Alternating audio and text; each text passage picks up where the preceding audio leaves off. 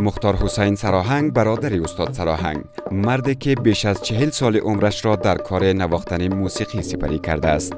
وی می‌گوید که اکنون موسیقی برقی در کشور تر شده است اما هنرمندان میکوشند تا جایگاه موسیقی سنتی را در کشور نیز نگه دارند. برای شما از هم کار میگیم از غزل هم کار می‌گیریم یکم غزل هم کار می‌گیریم از کلاسیک هم یاد دارم یاد ندارم مدا جلو خلا می‌کشیم باز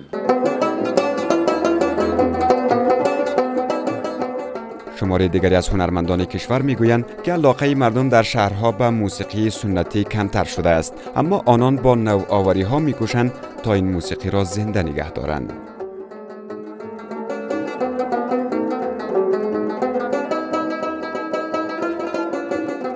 برای خداوند دست دراز می‌کنیم که در افغانستان خدا یک صلح بیاره یک آرامی را بیاره در افغانستان ما. اگر وطن ما آرام باشه از همه کشورها که در وطن خود هم خوش هستیم.